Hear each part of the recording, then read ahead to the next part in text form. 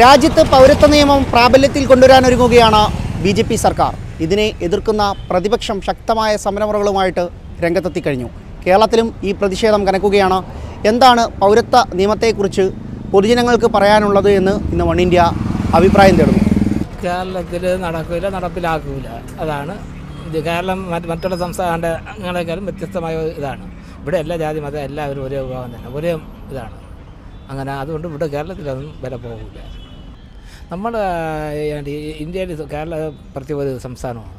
ആ സംസ്ഥാനത്ത് ഇതൊന്നും നടക്കില്ല ഇതേ ഇപ്പോൾ പുള്ളി പറഞ്ഞ കണക്ക് വോട്ടിന് വേണ്ടി. കേരളവും തമിഴ്നാടും ഒക്കെയാണ് ഇതിനെ ശക്തമായി എതിർക്കുന്നത്. അതാണ് അത്. തന്നെ തന്നെ. അത് മതേരത്ത സംസ്ഥാനങ്ങളല്ലേ? ഇവരൊക്കെ മറ്റേ അവർ ഇത് ഇത് കൊണ്ടുവന്നാൽ അത് നടക്കുന്ന കാര്യമാണ്. അത് പിന്നെ ഇപ്പോൾ ബി ജെ പിക്ക് ഭൂരിപക്ഷം ഉള്ളതുകൊണ്ട് അവരത് കാണിക്കുന്നു. അത് ജനങ്ങൾ അതിനെതിരായിട്ട് പ്രതികരിക്കും. അത് തീർച്ചയാണ്. ഈ ഇപ്പോൾ ഈ ഇലക്ഷൻ ഉണ്ട് ആ ഇലക്ഷനിൽ ജനങ്ങൾ അതിനെതിരായിട്ട് പ്രതി പ്രതികരണം ഉണ്ടോ? നല്ല പ്രതികരണം ഉണ്ടാവും അതിന് അത് ഞാൻ സംശയമില്ല ഞാൻ ഒരു ഹിന്ദുവാണ്. ഞാൻ മുസ്ലിം ക്രിസ്ത്യാനെന്ന് പറഞ്ഞാൽ ഞാൻ ഒരു ഹിന്ദുവാണ്.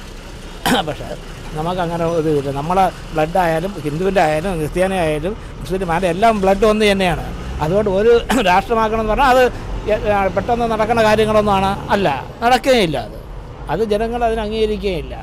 നമ്മുടെ കേരളം പോലുള്ള സംസ്ഥാനങ്ങൾ അത് അംഗീകരിക്കുകയില്ല. അത് തീർച്ചയാണ് അത് ഒരു കാരണവശാലും അനുവദിക്കാൻ പറ്റില്ല. അത് ഭരണഘടന വിരുദ്ധമല്ലേ? ഇന്ത്യൻ ഭരണഘടനയ്ക്ക് വിരുദ്ധമായിട്ടാണ് ഈ നിയമം കൊണ്ട് വന്നിട്ടുള്ളത്. എല്ലാ മതങ്ങൾക്കും മതങ്ങൾക്കും മാറ്റങ്ങൾ വരുത്താം. ഈ ഒരു പൗരന് മറ്റൊരു മതത്തിലേക്ക് ചേരുന്നതിലേക്ക് തടസ്സമില്ല. അതൊക്കെ അതിനൊക്കെ വിരുദ്ധമായിട്ടല്ലേ വരുന്നത്? അപ്പോൾ ഇത് ഒരു കാരണവശാലും അനുവദിക്കാൻ പറ്റില്ല. ഇത് ഒരു ഒരു വർഗീയ കലാപങ്ങൾക്കുള്ള തുടക്കം കുറിക്കുന്നതും ഒരു വിഭാഗത്തിന്റെ വോട്ട് പിടിച്ച് അധികാരത്തിൽ വരാൻ വേണ്ടി മാത്രമുള്ള ഒരു കാഴ്ചപ്പാടാണ്. സാറിന്റെ ഒരു ഒപ്പീനിയൻ ഇത് ഒരു തെരഞ്ഞെടുപ്പ് ടൂളാണ് പക്ഷേ വേറൊരു കാര്യം കൂടി നോക്കുകയാണെങ്കിൽ ഈ മുസ്ലിങ്ങളുടെ ഇതിൽ പറയുന്നത് ആദമിന്റെയും അവയുടെ മക്കൾ എന്ന് പറയുമ്പോൾ ഇവിടെ വർഗീയത ഇല്ല. ഈ ഭൂമിയുടെ ഉടമസ്ഥാവകാശം ആദമും അവയാണ്. പിന്നെ ഇതിനകത്ത് വേറെ വർഗീയത എങ്ങനെ വരും? ഇതിനകത്ത് മത വ്യത്യ- വ്യത്യാസം വരുത്താൻ പാടില്ല പാടില്ല. സെക്കുലർ കൺട്രിയാണ് ഇന്ത്യ ഒരു സെക്കുലർ രാജ്യമല്ലേ? ഇന്ത്യ എന്ന് പറയുന്നത് ഒരു അതെ യഥാർത്ഥത്തിൽ നോക്കുകയാണെങ്കിൽ മുസ്ലിങ്ങൾ എൺപത് എണ്ണൂറ് വർഷം ഇവിടെ ഭരിച്ചിരുന്നു. അവരാരും മതത്തിന്റെ വർഗീയതയ്ക്ക് വന്നിട്ടില്ല. അവർ കാലഘട്ടങ്ങളെ കുറിച്ച് ചിന്തിക്കണം. അത് ചിന്തിച്ചാൽ ഇതിനെ പൂർണമായി എതിർക്കും. എണ്ണൂറ് വർഷം ഭരിച്ച മുസ്ലിങ്ങൾക്ക് വർഗീയത ഇല്ല. പക്ഷേ വെറും തുച്ഛമായ ഈ കാലയളവിൽ വന്നവർക്കാണ് വർഗീയത. ഇത് അനുവദിക്കാൻ പാടില്ല എതിർക്കുന്നത്. മതം വൈസ് പോകുന്നത് നല്ലതല്ല. ഇപ്പോൾ മതം മതപരമായി കുറേ തർക്കങ്ങളൊക്കെ നടക്കുന്നുണ്ട്. അപ്പോൾ മതമായിട്ട് പോണതിന് എനിക്ക് വലിയ അഭിപ്രായമൊന്നുമില്ല. പിന്നെ ഇവരൊരു വലിയ ടൂളാക്കാനുള്ള പരിപാടിയാണ് ലോക്സഭ. തോന്നുന്നുണ്ടോ? അതിനെക്കുറിച്ച് എനിക്കറിയത്തില്ല. പക്ഷെ എനിക്ക് മതമായിട്ട് പോണ താല്പര്യം ഓക്കെ സുഹൃത്തെ എന്താ പേര്? അല്ല എന്താണ് അഭിപ്രായം? നമ്മളെല്ലാം ഇൻഡിവിജ്വൽ ആണ് എനിക്കും ഈ മതമായിട്ടുള്ള താല്പര്യമൊന്നുമില്ല. അത് പൗരത്വ നിയമം എതിർക്കപ്പെടേണ്ടതാണോ? ഓ. ഭരിക്കുന്ന മന്ത്രിമാരെങ്ങനെയാണ് ആ രീതിയിലായിരിക്കും? കേരളം ഇത് എതിർക്ക് എതിർക്കുന്നുണ്ട്. എതിർക്കുന്നുണ്ട്. ചേച്ചിയുടെ അഭിപ്രായം എന്താ? അത് തന്നെ പറഞ്ഞത്. ഇപ്പോഴിരിക്കുന്ന മന്ത്രിമാർ ഇങ്ങനെ രാജ്യം കുട്ടിച്ചോറായിക്കൊണ്ടിരിക്കുമ്പോൾ എന്ത് പറയാൻ വേണ്ടി? ഒന്നും പറയാനില്ല. ആണ് ഇതിന്റെ വിശദീകരണം അത് നന്നായിട്ട് നടന്നാലേ എന്താണ് ജനങ്ങൾക്ക് ബോധവൽക്കരിക്കാൻ പറ്റത്തുള്ളൂ. അല്ലാതെ പൗരത്വ നിയമം ഒറ്റയടിക്ക് ഒരു ദിവസം ഒരു സുപ്രഭാതത്തിൽ പൗരത്വ നിയമം നടപ്പിലാക്കുന്നു എന്ന് പറഞ്ഞാൽ ജനങ്ങൾക്ക് എന്താണെന്നും അത് അറിയാൻ പറ്റത്തില്ല. അതിനെപ്പറ്റി വിശദീകരണം വേണം. അത് അതാണ് ഏറ്റവും നല്ലത്.